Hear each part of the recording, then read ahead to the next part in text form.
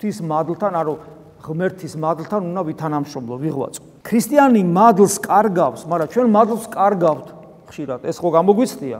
აი ვეზიარებით დღეს რაღაცა განწყობა გახვალ ცოტა ხანში ან ლოცვის რაღაცა მოვა ცოტა ხანში დაიკარგა. ვერ ვინარჩუნებთ ამ მადლს. ყველამ ვიცით ეს, ვისაც სულიერი ცხოვრების პრაქტიკა აქვს. ეხლა ვისაც სულიერი ცხოვრების პრაქტიკა არ აქვს, იმას ეს სიტყვები უბრალოდ არ ესმის, რას ნიშნავს ეს არ იცის. ანუ ვისაც ეს სიტყვები ეხლა არ გესმით, რომ მადლი მოდის და მე ვერ ვინარჩუნებ და ვკარგავ, ესე იგი ჯერ თქვენ სულიერი ცხოვრება საერთოდ არ დაგიწიათ.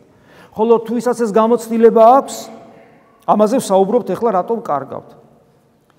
და ადამიანი მადლს კარგავს, ხშირად გონია, ცოდვა ჩავიდინე, განვიკითხე, შეურაცხყოფა მივაყენე, სასიკვდილო ცოდვაში ჩავარდი, ჩავთვერი, რაღაცა ვქენი. თავისთავად ხადია მადლს დაკარგავ, აბა რა. მაგრამ მარტო მასია, მარტო ამაში არ არის საქმე. ქრისტიანი კარგავს მადლს არამხოლოდ ცოდვის ჩადენისას. იმიტომ რომ შეიძლება ადამიანმა რავი განსაკუთრებული არაფერი არ ჩაიდინოს, მობილიზებულია სულ და არ ჩაიდინებს. არამედ მაშინაც, როდესაც სინდისი არ ამხელს და ხშირად მოდიხართ ხოლმე და აი სინდისი არ გამხელთ, არაფერი ისეთი არ ჩაგედენიათ, მაგრამ მადლი რომელიც მოვიდა დაიკარგა.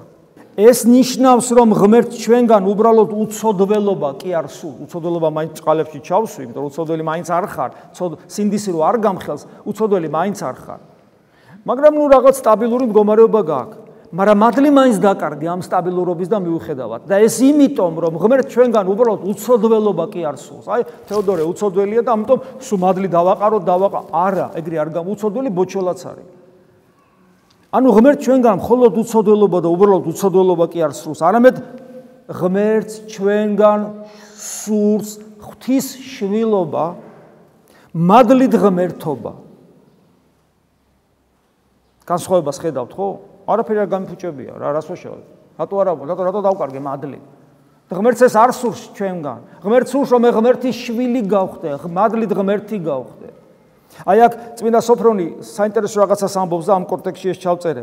ღმერთი უცნაურ ამას ამბობს. ღმერთი თითქოს არასოდესაა ჩვენი ტკმაყოფილი. ცოტა ამის თქოს მე ვერ გავბედავდი წმინდა სოფრონის შუარეთ ყოველთვის უკმაყოფილოა შენი ღმერთი რაც არ უნდა გააკეთო.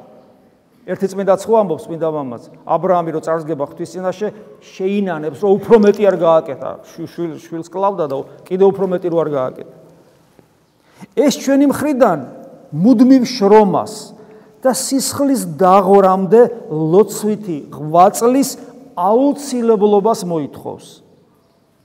და ქრისტემ თავადვე გვიჩვენა მაგალითი ამგვარი ღვაწლისა. გახსოვთ რომ ლოცულობს გეციმანის ბაღში მისი ოფლიც კი და სისხლით დაცვარული ხდება. ეს არის ქრისტიანობა